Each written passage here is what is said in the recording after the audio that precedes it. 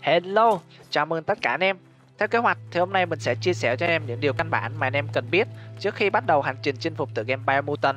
Mình hy vọng là những cái chia sẻ của mình sẽ giúp ích cho anh em và từ đó nhận được một subscribe của anh em nha. Điều đầu tiên mà mình muốn chia sẻ với anh em đó chính là điểm tăng cấp chỉ số mỗi khi lên cấp.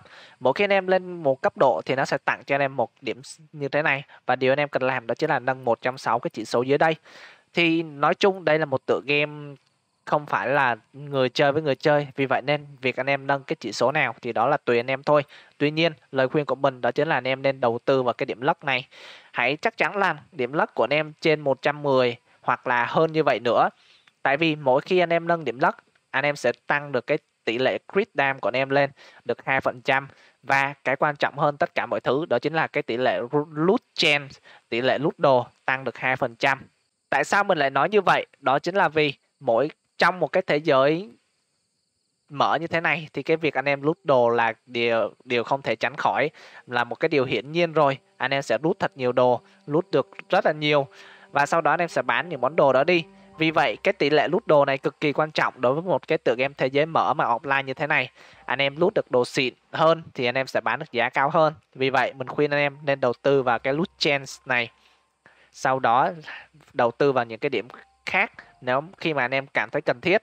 Sau khi đạt đủ điểm lất mà anh em cảm thấy mà ưng ý rồi, sau đó anh em sẽ tiếp tục nghĩ về cái hướng chơi của mình. Nếu anh em chơi là một người chơi đánh cận chiến thì mình khuyên anh em nên đầu tư ở điểm strength. Nó sẽ tăng cái điểm đam cận chiến của anh em lên. Nếu như anh em là một người chơi thích xạ chiến thì mình khuyên anh em nâng cái điểm agility này lên. Đây là cái điểm nó sẽ tăng cho anh em tốc độ di chuyển. Vì đối với những người chơi tầm xa thì cái tốc độ di chuyển là một cái điều cần thiết để anh em có thể vừa bắn, vừa lùi lại, hoặc là vừa di chuyển để cho những cái con quái nó không thể đuổi kịp anh em được. Điều thứ hai mà mình muốn chia sẻ với anh em đó chính là cái cục xương này, upgrade points thì cái cục xương này nó là cái mà anh em cần phải chú ý rất nhiều trong cái quá trình anh em nâng và anh em phải chắc chắn rằng mỗi một cái điểm cục xương này anh em sử dụng nó sẽ là có ích và nó sẽ không phải là phí phạm. Đối với cục xương, chúng ta sẽ có hai mục để mà chúng ta sử dụng cục xương này. Một là cung phu, hai là perks. Thì đầu tiên mình sẽ nói về perks trước. Ở mục perk, chúng ta sẽ có hai cái mục nhỏ nữa là general và mercenary. Mercenary đó chính là cái class nhân vật của mình thì anh em chơi class nhân vật nào, nó sẽ có tên tương ứng ở ngay ở đây. Đầu tiên là về mục general thì đối với mục general này, mình sẽ khuyên anh em nâng cái mục Lockout trước. Lockout nó sẽ tăng cho em 10% tỷ lệ loot đồ. Thì như mình đã nói ở cái điều đầu tiên mình chia sẻ, đó chính là mỗi một lần anh em nâng cấp thì nó sẽ tăng cho em 2% loot chance nhưng cái này nó tăng tới tận 10% lận và nó chỉ tốn một cục xương thôi vì vậy, ngay từ level đầu anh em, level 2 anh em đã có thể sử dụng cái điểm luck out này rồi đó đó là cái điều mà tối quan trọng anh em cần phải nâng đầu tiên trên tất cả mọi thứ luôn đó. Trong mục general này, nó là những cái chỉ số mà khi anh em nâng lên nó sẽ giúp cho nhân vật của anh em rất là nhiều. Tuy nhiên, mình nghĩ là anh em sẽ biết được những chữ số nào anh em cần vì lối chơi của mỗi người khác nhau. Vì vậy, mình sẽ không bàn chuyên sâu về những cái thuộc tính này khi mà anh em sở hữu con thú cưỡi đầu tiên, mình nghĩ anh em nên nâng cái điểm này luôn. Mount Mania, nó sẽ tăng cho cái con thú cưỡi của anh em 5% tốc độ chạy. Vì vậy, khi mà anh em có con thú cưỡi đầu tiên của mình, đừng quên vào cái mục General Perk General và nâng ngay cái điểm Mount Mania này nha.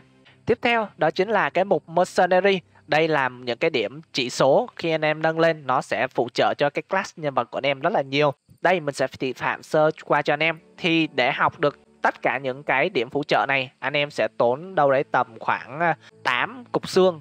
Thì có nghĩa là anh em cần 8 level. Tuy nhiên, nó sẽ có cái giới hạn level anh em có thể học được. Đây, ví dụ à, cái điểm mà brutality, nó sẽ cần tới level 15 mới học được và tốn 3 cục xương. Vì vậy, anh em hãy căn cục xương của mình và để dành những cục xương nếu anh em không có ý định nâng những cái điểm chỉ số khác.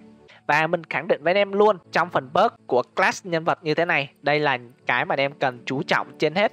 Mỗi khi có đủ cục xương và đủ cái giới hạn level thì anh em nên nâng cái này cho mình. Vì tất nhiên là đối với mỗi class nó sẽ có những điểm phụ trợ riêng và tất nhiên là nếu như mà những điểm phụ trợ này vô dụng thì chả ai cho nó vào cái mục này làm gì cả.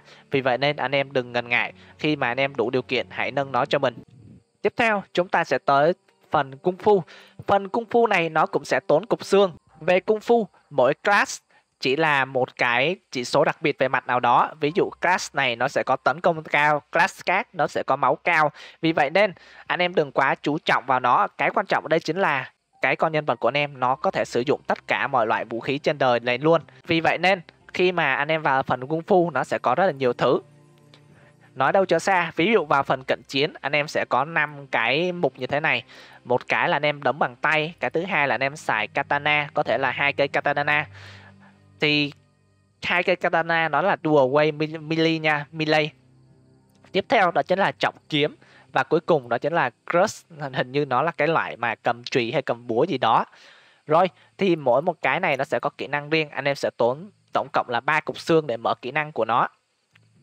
Anh em có thể thấy rằng cái chiêu này nó sẽ sử dụng là hai lần chuột phải và một lần ép và cái chiêu tốn hai cục xương là hai lần chuột trái và một lần ép. Khi mà anh em thoát ra, anh em vào cái phần cầm katana thì nó cũng sẽ như vậy, hai lần chuột phải và một lần ép. Vì vậy, phần này anh em chú ý cho mình, nếu như nhân vật của anh em đang chơi cái con cầm katana thì anh em nâng cái cái cái mục kỹ năng này trước. Sau đó, sau này khi mà anh em có được những vũ khí khác và anh em muốn đổi lối chơi của mình thì anh em nâng sau cho mình. Nó cũng chỉ là cái thao tác phím như nhau thôi. Quan trọng là trên tay anh em đang cầm cái vũ khí như nào. Đó là phần về phần cận chiến, còn phần xạ chiến thì sao? Nó cũng tương tự thôi. Anh em sẽ có được 5 loại súng để mà anh em cầm. Thì nói chung là cầm như nào thì cái đấy là tùy anh em. Nếu như anh em có cái súng shotgun ngon thì anh em xài shotgun còn không, nếu anh em không có súng shotgun thì anh em học shotgun làm gì đúng không? Đây, ví dụ như cái phần nhập kỹ năng nó cũng vậy thôi. Alt chuột phải, chuột trái.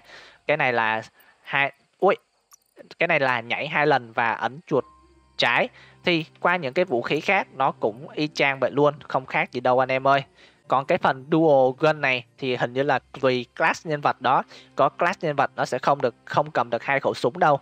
Hình như cái class này của mình là cầm được hai khẩu súng thôi đó anh em ơi. Vì vậy nên tùy anh em thôi, anh em muốn nâng như nào là việc của anh em.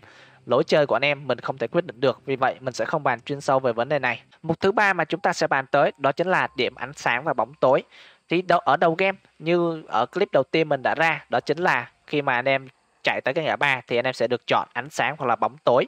Thì anh em đừng có nghĩ ra cái ánh sáng đó sẽ làm là con người anh em là trở thành một người tốt. Tuy nhiên thì không phải. Trong này anh em có thể thấy là mình có thể thu được hai điểm ánh sáng và bốn điểm bóng, hai điểm bóng tối và bốn điểm ánh sáng.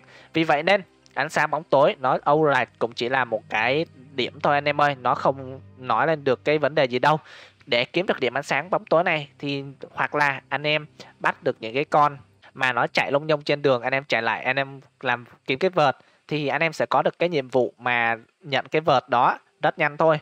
Nếu mà anh em chưa chơi game thì nói chung là chơi được tầm 10 hoặc 15 phút là anh em sẽ có cái nhiệm vụ chạy vô trong cái khu đó cầm cái vợt mà bắt mấy cái con này thôi. Thì sau khi mà anh em bắt cái con đó, nó sẽ cho anh em ba lựa chọn. Một là anh em sẽ giết giết con thú đó, anh em sẽ nhận được một cái điểm bóng tối. Hai là anh em sẽ giữ con vật đó, anh em sẽ nhận được một điểm ánh sáng. Thì thì đó. À quên, còn một điều nữa mình chia sẻ, chưa chia sẻ với anh em, đó chính là đối với cái anh em đi theo đường chọn ánh sáng thì anh em sẽ bắt được cái con trồn màu đỏ.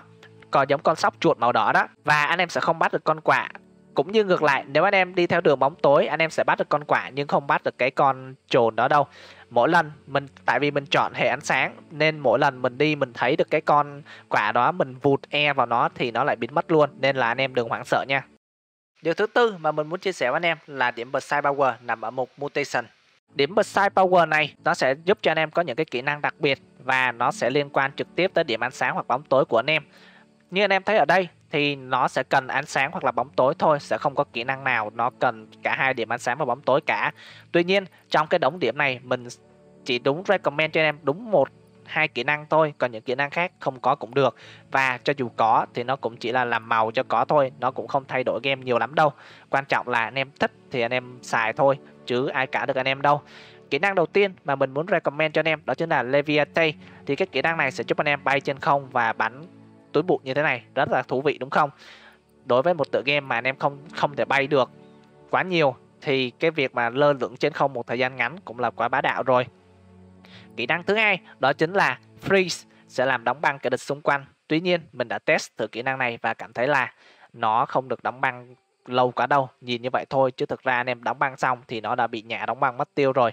Chủ yếu là nó sẽ định hình lại cái đội hình của địch và sau đó anh em có thời gian thoát ra chỗ khác để mà tiếp tục bắn hoặc là tấn công tụi nó thôi. May mắn một điều là hai cái kỹ năng mình recommend cho anh em. Nó đều sử dụng điểm ánh sáng, vì vậy nên anh em không cần quá phải lo. Nếu như cái kỹ năng mình recommend nó thuộc hai hệ khác nhau.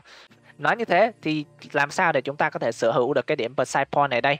Đó chính là khi mà anh em đi di chuyển trên đường, anh em thấy cái lều nào đó nó như một túp lều nhỏ nhỏ thôi anh em chạy lại ấn e vào nó là anh em sẽ đứng vái nó một phát. Thế là anh em có được một điểm như thế này.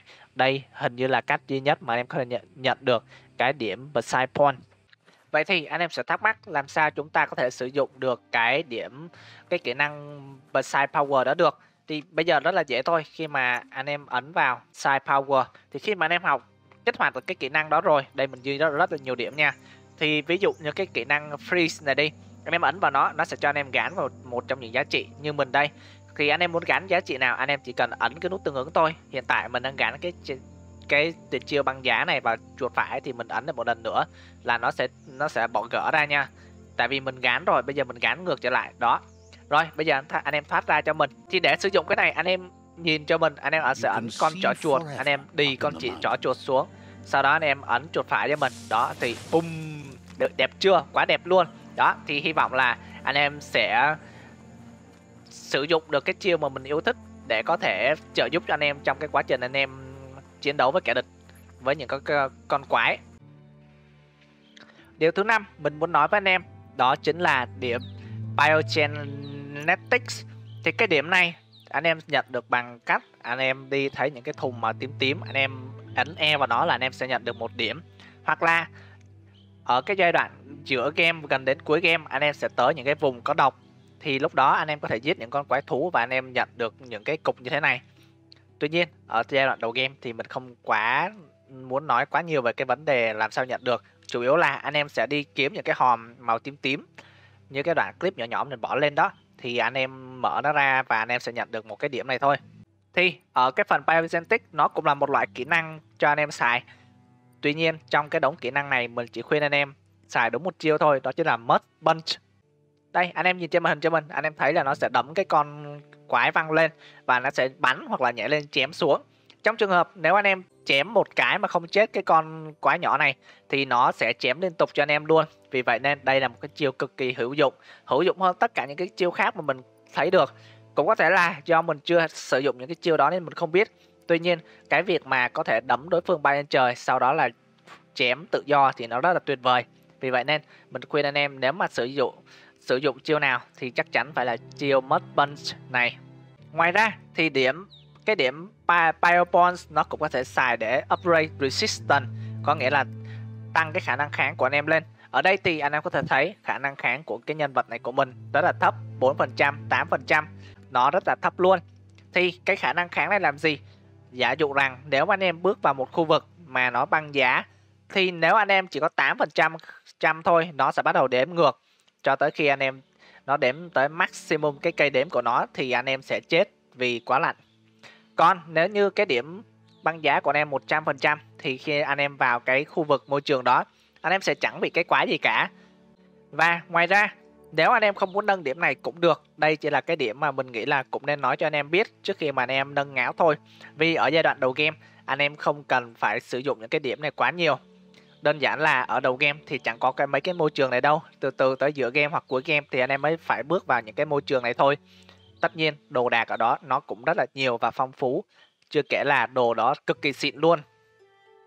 Vậy, cái điểm này thì nó như nào mà mình phải nói cuối cùng? Tại đơn giản là vì cái điểm này nó liên quan tới chỉ số của quần áo nữa.